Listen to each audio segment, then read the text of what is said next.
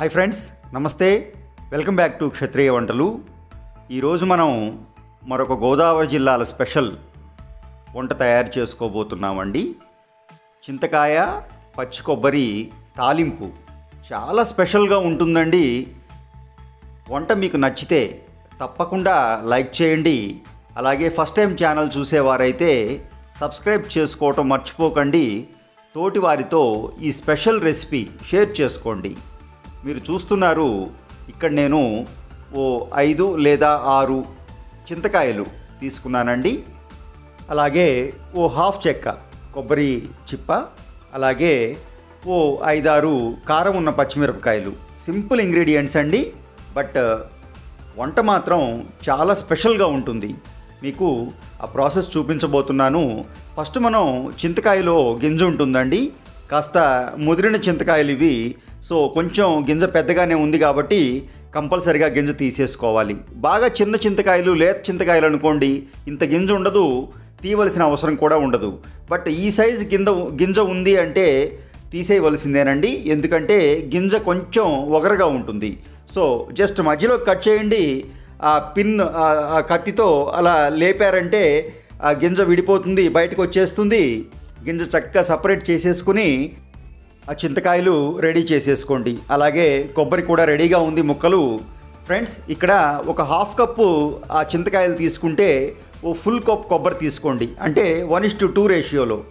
ఒకటి చింతకాయ అయితే రెండు కొబ్బరి. ఈ రేషియోలో తీసుకున్నారంటే పర్ఫెక్ట్గా ఆ పులుపు సరిపోతుంది చట్నీ పర్ఫెక్ట్గా వచ్చేస్తుంది ఈ తాలింపు. సో ఓ నాలుగైదు పచ్చిమిరపకాయలు కూడా చక్కగా విరిచేసి రెడీగా పెట్టేసుకున్నాను. ఈ మూడు మనం చక్కగా బరగ బరగ్గా కోర్స్లీ గ్రైండింగ్ అంటారు. పేస్ట్ చేయకండి. పేస్ట్ చేశారు అంటే ఈ పచ్చడి పాడైపోయిందని అర్థం. బరగ్గా ఉండాలి. అలాగే కొంచెం పసుపు యాడ్ చేసేసుకోండి. చిటికెడు అలాగే రుచికి సరిపడా సాల్ట్ కూడా యాడ్ చేసేయండి.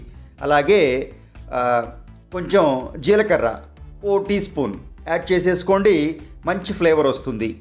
సో చక్కగా అన్నీ రెడీగా ఉన్నాయి. ఈ కన్సిస్టెన్సీ చూడండి. ఈ పచ్చడి లేదా ఈ తాలింపు. దీన్ని పచ్చడి అంటాం కూడా కరెక్ట్ కాదండి. తాలింపు అని మాత్రమే అనాలి. ఈ కన్సిస్టెన్సీ మెయింటైన్ చేయాలండి. ఏ మాత్రం మీరు ఎక్కువగా రుబ్బేశారంటే మిక్సీ తిప్పారంటే పచ్చడి అయిపోతుందని గమనించండి. చట్నీ అయిపోతుందని గమనించండి. కంపల్సరిగా ఈ కన్సిస్టెన్సీ మెయింటైన్ చేయాలి. అప్పుడే ఈ చింతకాయ కొబ్బరి తాలింపు పర్ఫెక్ట్గా వస్తుంది. డన్ రెడీగా ఉందండి. చిన్న ప్రాసెస్ తాలింపు పెట్టేసుకుందాం. ప్యాన్లో ఓ టీ స్పూన్ ఆయిల్ హీట్ చేసేయండి. కొంచెం జీలకర్ర అలాగే కొంచెం ఆవాలు యాడ్ చేసేయండి. కాస్త చిటపట్లాడనివ్వండి. ఇప్పుడు ఓ టీ స్పూన్ మినప్పప్పు అలాగే మరో టీ స్పూన్ పచ్చనగపప్పు కొంచెం మెంతులు. కంపల్సరీగా వాడుకోండి. బాగుంటుంది ఈ తాలింపుకి.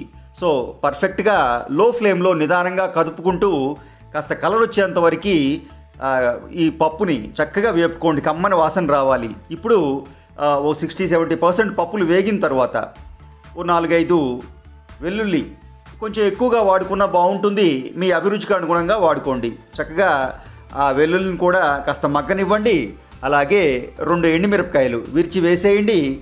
పర్ఫెక్ట్గా నిదానంగా కదుపుకుంటూ ఒక కమ్మని తాలింపు రెడీ చేసేసుకోండి. ఈ తాలింపు ఈ వంటకి ఈ డిష్కి చాలా ఇంపార్టెంట్ అండి. సో కొంచెం ఫైనల్గా కరివేపాకు యాడ్ చేసేయండి. ఒక్క నిమిషం పాటు అలా సాటే చేసేసారంటే పర్ఫెక్ట్గా తాలింపు రెడీ అయిపోయింది. చిటికెడు పసుపు కూడా యాడ్ చేసేసుకోండి. ఆ చింతకాయకి పసుపు చక్కటి కాంబినేషన్ అండి. మంచి కలర్తో పాటుగా మంచి ఫ్లేవర్ ఇస్తుంది. డన్.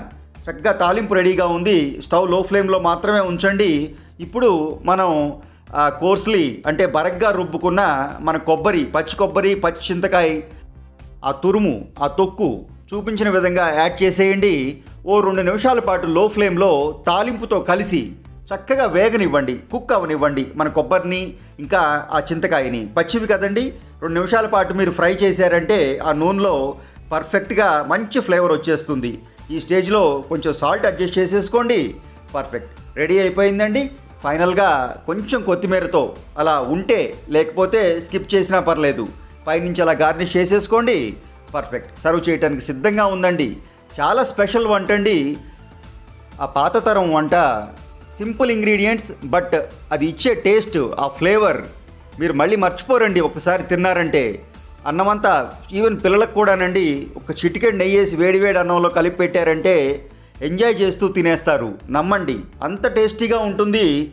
తప్పకుండా చూపించిన విధంగా మీకు ఈస్ట్ వెస్ట్ ఆ జిల్లాల్లో అయితే ఉత్తరాంధ్ర ఈ ప్రాంతాల్లో ఈ డిష్ లేకుండా భోజనాలు బంతి అవదండి. అంత ఫేమస్ డిష్.